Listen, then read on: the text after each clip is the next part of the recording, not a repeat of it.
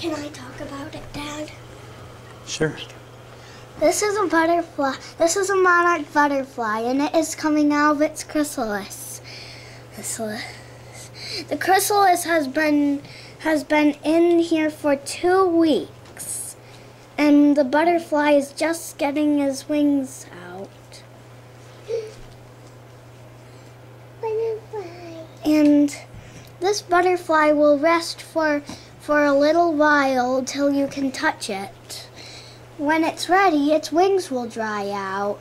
Mom, it's a, Jacob, mo- I got it's a that, monarch butterfly. I know.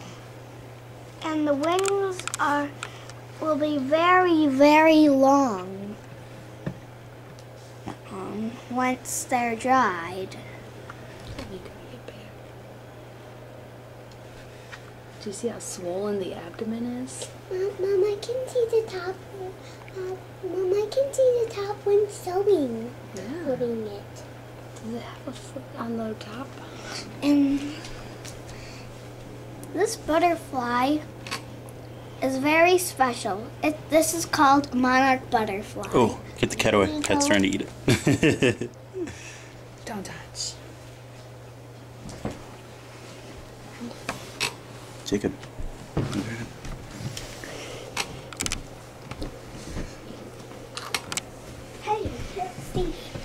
We have three stages right here because we have the J hooking one, which mm-hmm. will make its chrysalis soon. Then we have the one in the front that is going to be coming out of its chrysalis very soon. And this one. Yeah, well, we have an egg too. Do we have an egg in there too? Yes. Mm-hmm. We have four stages the egg stage, the chrysalis stage, the J hook stage, and the butterfly stage. We're missing the caterpillar. Yeah. Yesterday, uh, when we were going to Walgreens, I found a monarch caterpillar. When we were going home from Walgreens.